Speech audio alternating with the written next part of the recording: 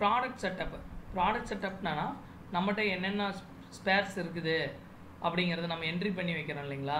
நம்மளுடைய ப்ராடக்ட்ஸ் வந்து நம்ம மெயின்டைன் பண்ணுறோம் டேட்டாஸ் என்ட்ரி பண்ணி அதுதான் ப்ராடக்ட் செட் பண்ணி வைக்கிறது தான் ப்ராடக்ட் செட்டப் இதில் நியூவாக ஒரு பொருளை ஆட் பண்ணி வைக்கணும்னா ஆட் ப்ராடக்ட்டில் போயிட்டு நம்ம ஆட் பண்ணிக்கிறோம். ஆல்ரெடி இருக்கிற ப்ராடக்ட் வந்து இந்த இடத்துல நமக்கு ஷோ பண்ணுது. இதில் வந்து பார்த்திங்கன்னா பார்ட் நம்பரை வச்சும் சர்ச் பண்ணிக்கலாம்.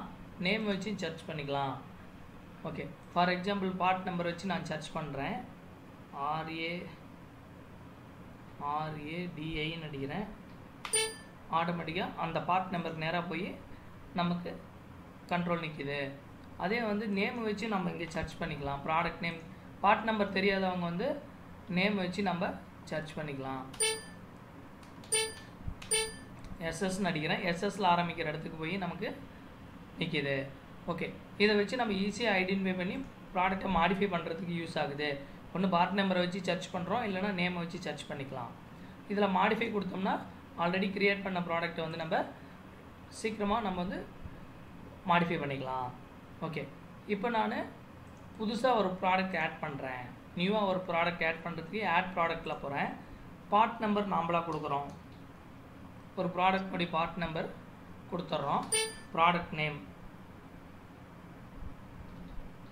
எல்இடி லேம்ப்னு கொடுக்குறேன்.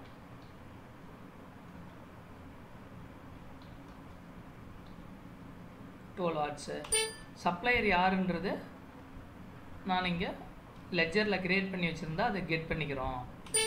இதுக்கு டைப் ஆஃப் டேக்ஸ் பதினெட்டு percent tax GST sales sales அக்கௌண்ட்டுன்னு கொடுத்துட்றேன் பர்ச்சேஸ் பர்ச்சேஸ் அக்கௌண்ட்டுன்னு கொடுத்துட்றேன் ஆல்ரெடி அங்கே ஹெச்எஸ்என் கோட் க்ரியேட் பண்ணினதை இந்த ப்ராடக்ட் உண்டான ஹெச்எஸ்என் கூட நான் கெட் பண்ணிக்கிறேன்.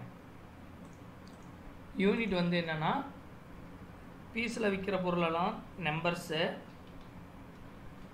இதே லிட்டரில் விற்கிறதா இருந்தால் எல் லிட்டர் ஆயில் மாதிரி இருக்கிற ஐட்டமெல்லாம் இங்கே லிட்டர் கொடுக்கணும். கிரீஸ் மாதிரி இருக்கிறதெல்லாம் கேஜியில் கொடுக்குறோம். சரம் மாதிரி இருக்கிறதெல்லாம் பீஸு சரம் பாக்ஸு இந்த மாதிரி இந்த பொருளை நம்ம எப்படி ஸ்டாக் மெயின்டைன் பண்ணுறோம் இப்போ இது நம்பர்ஸில் தான் நான் மெயின்டைன் பண்ணுறேன் பத்து நம்பர் இருபது நம்பர் அப்படிங்கிற மாதிரி. அதனால் நம்பர்ஸ் கொடுத்துக்குறோம். இந்த லிஸ்ட் ப்ரைஸுங்கிறது பார்த்திங்கன்னா நமக்கு வரக்கூடிய பேசிக் ரேட்டு இப்போ ஒரு நூறுரூபாய்க்கு வருது. அதாவது டேக்ஸ் இல்லாமல் பேசிக் ரேட்டு டேக்ஸ் பதினெட்டு பர்சன்ட் போடும்போது நமக்கு லேண்டிங் காஸ்ட் வந்து நூற்றி பதினெட்டு ரூபா. நமக்கு வந்து அடக்கம் வந்து நூற்றி பதினெட்டு ரூபா வந்துடுது நம்மளது ஒரு டுவெண்ட்டி பர்சன்ட் மார்ஜின் வைக்கிறேன். அப்போ சேல்ஸ் ப்ரைஸ் வந்து நூற்றி நாற்பத்தோரு ரூபா அறுபது பைசாவுக்கு நான் விற்கணும் இல்லை நான் நூற்றி ஐம்பது ரூபாய்க்கு விற்பேன் அப்படின்னா சேல்ஸ் ப்ரைஸை நாம்பளாக கொடுத்தோம்னா அதுக்கு என்ன மார்ஜின் கிடைக்குது அப்படிங்கிறத இந்த இடத்துல ஷோ பண்ணோம். எம்ஆர்பி எம்ஆர்பிங்கிறது மேக்ஸிமம் ரீட்டைல் ப்ரைஸ் அது எது வரைக்கும் விற்கலாம்? கொடுத்துட்டு ஆட் கொடுத்தோம்னா